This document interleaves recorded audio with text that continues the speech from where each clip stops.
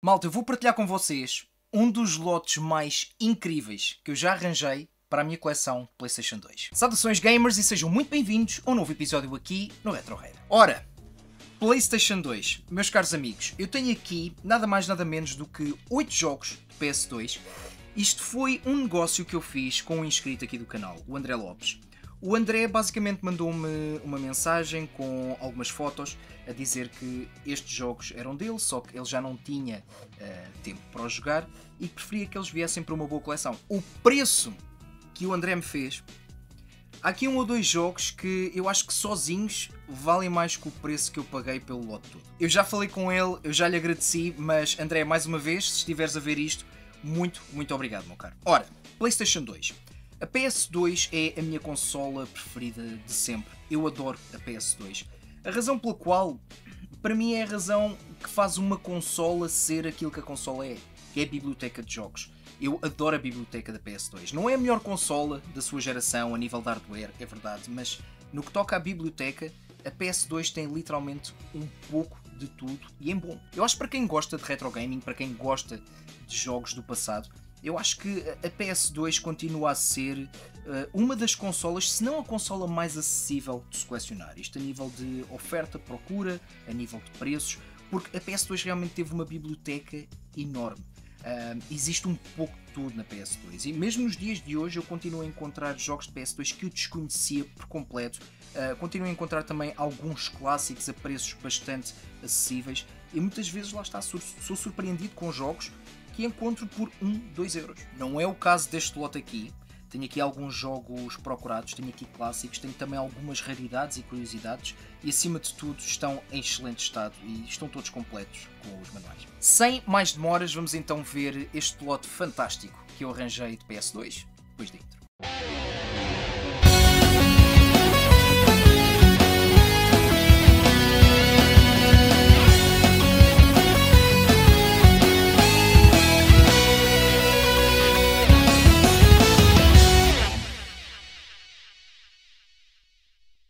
já começar em grande com dois jogos. Ora bem, temos aqui os clássicos Crash of the Titans e Crash Mind Over Mutants. Eu, ao longo deste vídeo vou puxar aqui alguns jogos para contextualizar aquilo que eu estou a falar destes jogos. Vamos começar já aqui com o primeiro. Ora bem, Crash Twin Sanity. Para muitos, este é o último, ou foi o último jogo da franquia principal de Crash Bandicoot. Porque estes dois, que saíram depois, digamos que foge ali um pouco à regra. Twin Sanity apresentou alguns conceitos novos na franquia de Crash Bandicoot. Uh, eu acho que o Wrath of Cortex foi uma excelente entrada do Crash na nova consola, na PS2, mas para mim o Twin Sanity é superior. E honestamente, eu continuo a achar que é um excelente jogo de Crash Bandicoot. Só que depois chegamos aqui então ao Crash of the Titans, que saiu primeiro, e depois o Mind Over Mutants. O que é que mudou? Em primeiro lugar, os modelos o modelo do Crash em particular, nós estávamos tão habituados ao Bandicoot e aqui realmente parece uma personagem completamente diferente. Não é que eu não goste deste modelo do Crash, não é que eu me importe com a diferença, mas lá está, é, é como por exemplo apresentarem um Super Mario uh, com umas vestes diferentes, é como apresentar o Sonic sem ser aquele ícone azul. E na altura o Crash Bandicoot ainda tinha bastante peso, ainda tinha bastante relevância. Uh, já não era um exclusivo da PlayStation, é verdade, mas continuava a ser o Crash Bandicoot. E aqui parecia uma personagem diferente, não só a nível de aspecto, mas também a nível da personalidade. Eu acho que estes dois jogos perderam ali uh, aquele humor completamente louco que existia no, nos jogos anteriores. Uh, a nível de jogabilidade, a coisa manteve-se mais ou menos. Se bem que eu acho que a jogabilidade são até o ponto forte destes jogos. O Crash tem mais moves, eh, tem mais áreas para explorar. Para mim, estes jogos estão mais perto, por exemplo, de um Super Mario 64 do que os jogos anteriores de Crash Bandicoot, mas eles realmente mudaram bastante a fórmula. E uma das coisas que eles implementaram aqui foram os titãs. Basicamente são monstros que nós podemos apanhar e podemos utilizar as habilidades deles para ultrapassar certos obstáculos. Temos muitos titãs, digamos, para colecionar, para explorar, e essa acabou por ser a gimmick do jogo. Aqui no primeiro, Crash of the Titans, eu acho que não foi tão bem conseguido, ou pelo menos eu acho que o resultado final não foi aquilo que eles estavam à procura. Já no Mind Over Mutants, para mim eles conseguiram fazer bem aquilo que não foi feito no Crash of the Titans. O Mind Over Mutants continuou com a mesma estética, se bem que a história mudou um pouco, mesmo assim, lá está, eu acho que o lore uh, e a própria abordagem, com aquela sátira e com aquele humor completamente cartunesco, eu, eu acho que ainda não está tão bem retratada aqui no Mind Over Mutants como estava, lá está, nos Crash Bandicoots antigos, mas para mim foi uma melhoria. Foi uma melhoria muito, muito evidente para com o seu antecessor, o Crash of the Titans. A nível gráfico, a nível de performance, eu, eu tenho a dizer que se calhar nesse aspecto é um dos jogos de topo da PlayStation 2, ou pelo menos no que toca a jogos de plataforma, e por si só é um excelente jogo de plataformas 3D. Se mantém aquela essência de Crash Bandicoot, Lá está, eu acho que não. Eu, para mim, eu considero realmente o Twin Sanity o último jogo desses Crash Bandicoots mais antigos. Começou, com, começaram no primeiro, obviamente, a PlayStation 1. Mas estes dois, para mim, digamos que são quase spin-offs. Em retrospectiva, são excelentes jogos. São bons jogos de plataforma. E eu aceito isso, aceito estes jogos e consigo apreciá-los por aquilo que eles são. E da franquia principal do Crash, estes eram os dois que me faltavam na coleção. Completíssimos, com os manuais, tudo impecável. Vamos aqui para outro clássico que não necessita de quaisquer apresentações. E este foi um jogo revolucionário, não só no IP, mas na própria série. Dragon Ball Z Budokai Tenkaichi. O primeiro. Não foi o primeiro jogo Dragon Ball em 3D, é verdade. Nós tivemos ainda o Dragon Ball Sagas, que saiu antes, mas o Sagas, digamos que não é um jogo de luta por si só. Na sua gênese, o Dragon Ball Budokai Tenkaichi foi o primeiro jogo de luta do Dragon Ball em 3D 360. Vou buscar aqui mais dois jogos, aliás, porque este acaba por me completar o set. Dragon Ball Z Budokai Tenkaichi 2 e o icónico Dragon Ball Z Budokai Tenkaichi 3. Eu comecei a jogar jogos de luta Dragon Ball já no tempo da Sega Saturn. Uh, joguei também bastante o Final Bout na PS1 e acompanhei alguns dos jogos da PlayStation 2, principalmente o Budokai. O Budokai Tenkaichi 1, por alguma razão, não me convenceu quando foi originalmente lançado. Portanto, eu iniciei a minha jornada aqui no Budokai Tenkaichi 2 e rendi-me e fiquei completamente apaixonado pelo Budokai Tenkaichi 3, que para mim continua a ser dos melhores jogos de Dragon Ball de sempre. Para mim, melhor que o Budokai Tenkaichi 3, só mesmo o Kakaroto. Voltando aqui ao Budokai Tenkaichi, o primeiro. Um jogo absolutamente icónico e revolucionário, se formos a ver. Porque aqui era mais do que um jogo de luta. Era realmente um jogo de aventura onde nós percorríamos a saga do Dragon Ball. Sentíamos que estávamos realmente dentro das batalhas, sentíamos que estávamos a viver a história destas personagens icónicas do anime com que muitos de nós cresceram. E sim, embora continue a preferir o 2 e o 3, claro, este aqui foi a Gênese. Eu acho que foi um jogo que arriscou muito. Não foi fácil implementar os controles, mesmo a nível de câmera. Isto era uma coisa bastante nova uh, no mundo dos jogos fighting games. Continua até hoje, na sua maioria, a manter o seu formato clássico de side-scroller. Mas aqui, o facto de estarmos num jogo de luta, só que com um ambiente tridimensional completamente em 360 na sua câmera, foi realmente incrível. E, e foi um modelo que eles, inclusive, adotaram para o Kakarot. O Kakarot é obviamente um RPG, open world, mas nos momentos de combate, luta, vai muito beber ali ao Budokai Tenkaichi. A nível gráfico, a nível de banda sonora, eh, conseguiu captar e bem a essência e a alma do anime. Realmente parece que estamos mesmo a jogar o anime do Dragon Ball. E finalmente vamos ter o regresso desta franquia com o Sparkling Zero, que vai sair ainda este ano. Mas lá está, este, embora não seja o meu preferido, foi aquele que iniciou a franquia. Está aqui, completo e epá, é um orgulho enorme poder tê-lo na minha coleção e completar o set. Por falar em animes e franquias icónicas. Jogos Digimon. É um pouco ali o 880. Existem excelentes jogos Digimon, há outros que nem por isso. Este aqui eu tenho a noção de que está na lista dos nem por isso, mas é aquele jogo Digimon que eu nunca joguei e sempre quis jogar. Digimon World 4.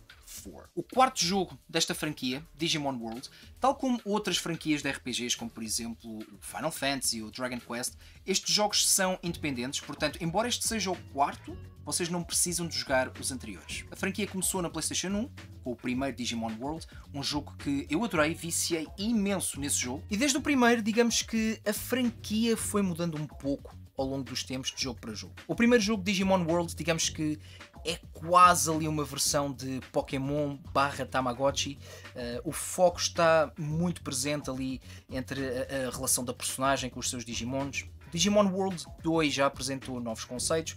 Basicamente é um dungeon crawler. O terceiro jogo, chamado Digimon World 2003, Pessoalmente é o meu preferido dos que eu joguei. Eu adoro o Digimon World 3 ou 2003. Uh, aqui já temos um jogo mais JRPG uh, turn-based e eis que segue Digimon World 4. Ora bem, o que é que é o Digimon World 4? Basicamente é um hack and slash. É um pouco estranho, é verdade. A nível de história é um pouco confuso. Uh, a nível de mecânicas, lá está, não há muito a acrescentar. É um hack and slash só que é estranho é que os Digimons, os starters, têm espadas. Existem várias digivoluções onde os nossos Digimons têm armas de fogo, têm espadas, etc. Mas aqui, enquanto starters, é realmente um pouco bizarro. A câmera do jogo já deu para ver que não é a melhor. Do pouco que eu joguei, do pouco que eu experimentei, eh, está datado. É, é digamos ali, um pouco perra. A nível gráfico, não está mal. Eu acho um jogo bonito para a altura. A nível mecânicas, lá está, eu acho que perdeu muito aquela cena de RPG, porque os anteriores, embora cada um tivesse o seu, o seu género, a sua abordagem, não deixavam de ser RPGs.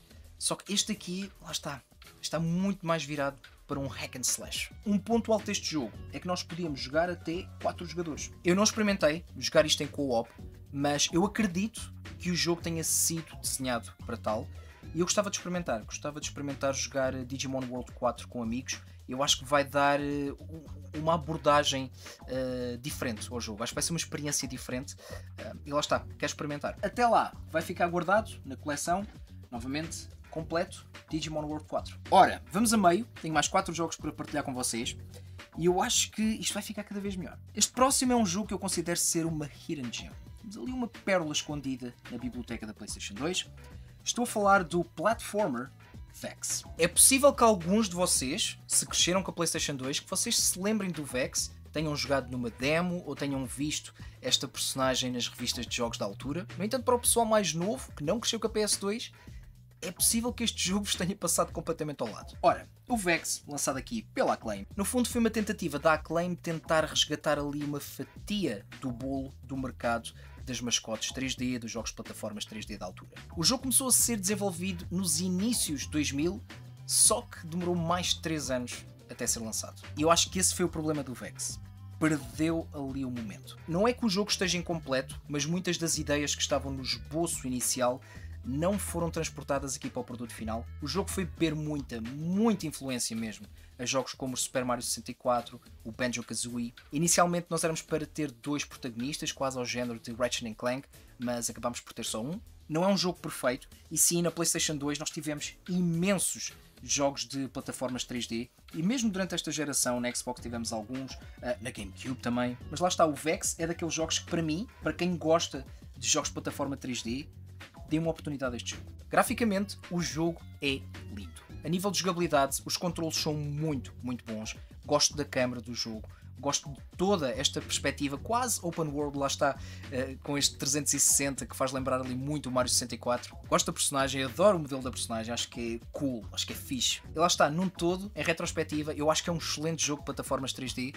Mas lá está, o tempo não esteve a favor do jogo na altura e acho que saiu um pouco tarde. Saiu um pouco tarde na geração. É daqueles que eu andava à procura, não é propriamente um jogo caro ou super raro, nada disso, mas não aparece muitas vezes e consegui aqui, lá está, completo. Voltamos aos RPGs e este sim era daqueles que eu já andava à procura há muito tempo e agora tenho aqui completo também o Spartan Total Warrior. Se o jogo faz lembrar a franquia Total War, como Rome Total War ou Medieval Total War, sim. Até porque é da mesma franquia, mais ou menos. Isto é nada mais nada menos do que um spin-off de Total War. Hack and slash puro e duro. Eu atrevo-me a dizer, este aqui é dos melhores hack and slashes da sua geração. O jogo é muitas vezes comparado com o God of War, e o que é interessante é que os jogos começaram a ser produzidos e desenvolvidos mais ou menos ao mesmo tempo, só que o God of War saiu primeiro. Spartan Total Warrior saiu um pouco mais tarde, mas lá está, eu distancio estes dois. Este é para mim muito mais épico em todo o seu scope. Uh, a, a, história é maior, o próprio scope do jogo é maior. as batalhas aqui, nós realmente sentimos que estamos dentro de uma batalha. Mesmo comparando com jogos de hoje em dia, do género hack and slash, eu acho que a inteligência artificial deste jogo é muito, muito fixe. Há alturas onde nós estamos com a nossa personagem a combater num campo de batalha, e se nós repararmos nos inimigos, cada um deles está a comportar-se de uma maneira diferente.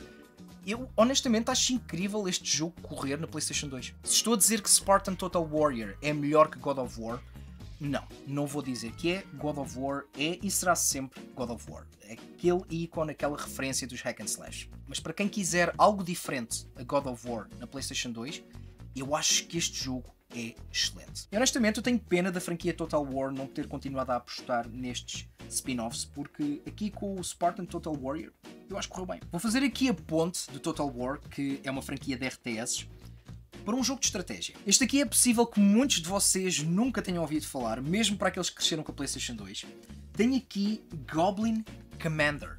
Goblin Commander. Ora bem, isto é um jogo de estratégia, ok? É um RTS. RTS em consola é motivo para muitas das pessoas começarem a torcer o nariz. E atenção, eu entendo. Eu acho que o género RTS resulta melhor em computador teclado e rato. Estes jogos foram desenhados para serem jogados assim. No entanto, não quer dizer que nós não tenhamos alguns portos decentes para consolas, ou até mesmo alguns IPs originais. Que é exatamente o que temos aqui. Isto é um RTS, é um jogo de estratégia desenvolvido para consolas. Não foi exclusivo PlayStation 2, também saiu na GameCube, saiu também na Xbox, qual a melhor versão? Eu não sei, para falar a verdade, eu acho que as opiniões dividem, mas posso-vos dizer que este aqui é possivelmente dos melhores RTS que eu joguei na PlayStation 2. Em primeiro lugar, o jogo não se leva muito a sério e eu gosto disso.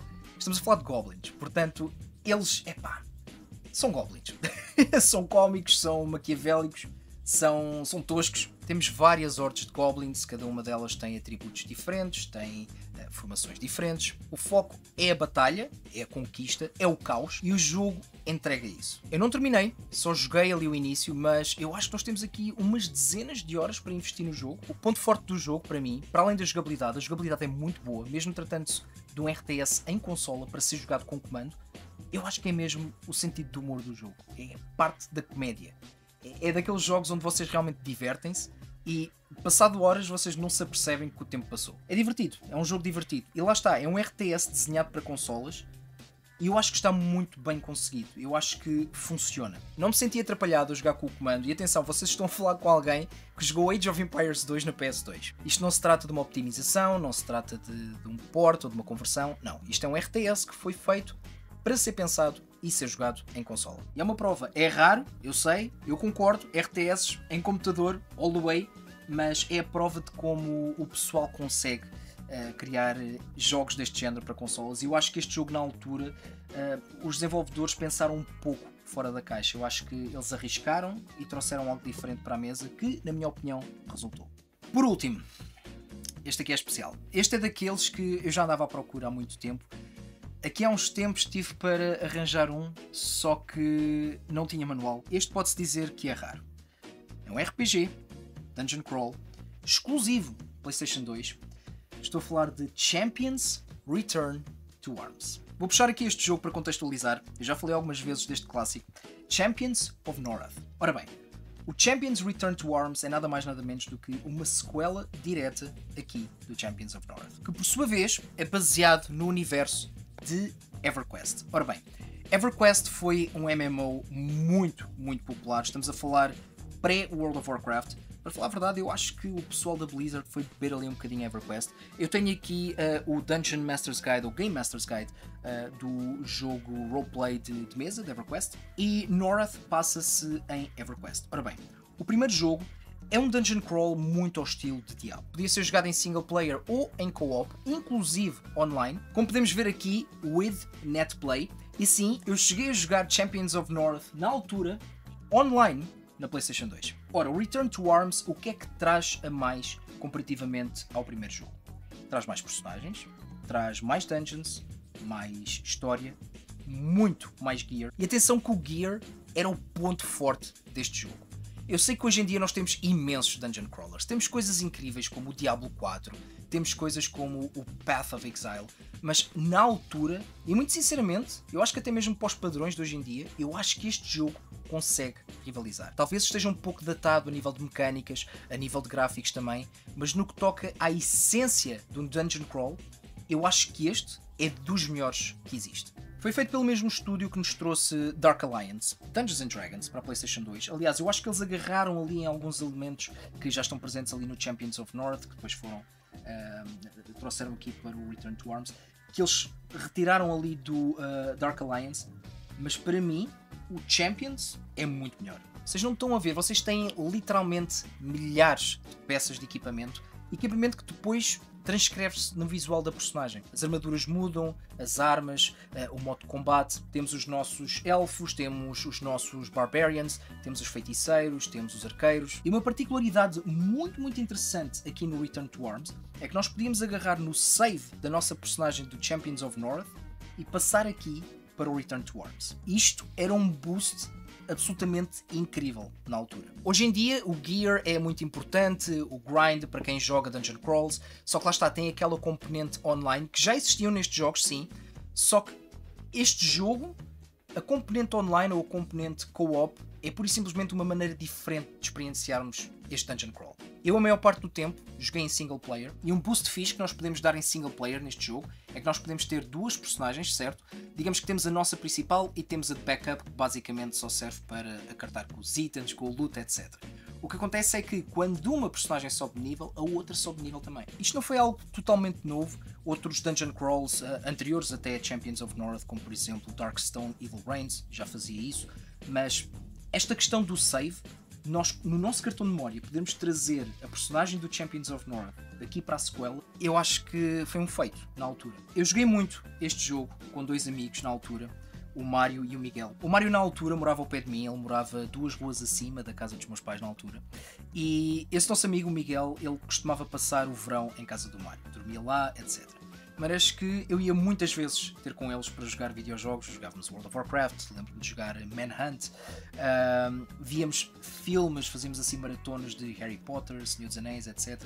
E houve um verão onde nós viciámos imenso no Champions of North. Eu liguei ao Mário quando consegui este lote, muito aqui por causa do Return to Arms, e eu mandei-lhe uma foto e perguntei-lhe: diz-me lá, sabes o que isso é? Ele disse logo: Isso é a sequela do Champions of North, onde é que encontraste isso, brutal, etc. Para falar a verdade, isto é importante. O Mario, quando saiu de casa, uh, ele desfez-se de grande parte da coleção dele. Ele deu-me alguns jogos. Este Champions of North era o dele. Foi exatamente este jogo, este aqui, que eu joguei na altura com ele e com o nosso amigo Miguel em casa dele. Portanto, o que é que vai ter de acontecer agora? E eles vão estar a ver isto. Malta, vocês vão ter de vir cá a casa, vamos arranjar um splitter, vamos arranjar comandos, porque vamos ter de jogar aqui o Return to Arms, os três. Muitas boas memórias com Champions of North. Espero conseguir criar boas memórias também aqui com Return to Arms. Malta, isto está feito. Novamente, eu acho que este aqui foi o lote mais fixe PlayStation 2 que eu já trouxe para o canal. Uh, qualquer um destes jogos, para mim, são jogos dignos de estar em qualquer coleção de PlayStation 2. Temos aqui clássicos, temos Crash Bandicoot, uh, Dragon Ball, Digimon, Champions of North. Eu quero que vocês me digam em baixo se vocês jogaram alguns destes jogos. Digam se vocês cresceram com o Budokai Tenkaichi. Uh, digam o que é que acham destes jogos do Crash Bandicoot. Digam se vocês jogaram o Goblin Commander. Digam se jogaram Champions Return to Arms. No modo geral, digam se vocês cresceram a jogar PlayStation 2. Digam se continuam a jogar esta consola incrível e se são colecionadores de PS2. Muito obrigado por estarem desse lado, malta. Se tiverem um tempinho extra, sigam-me nas redes sociais. Eu ando pelo Facebook, pelo X, pelo Instagram e claro no TikTok, onde eu lanço vídeos todos os dias. Vimos para aí nos próximos vídeos, malta. Até lá já sabem, divirtam-se e joguem muito.